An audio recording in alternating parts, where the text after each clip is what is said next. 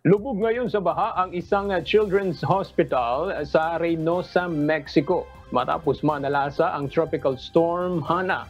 Sa lakas ng buhos ng ulan, mabilis umapaw ang kanal malapit dito na naging sanhi ng pagpasok ng tubig sa loob ng ospital.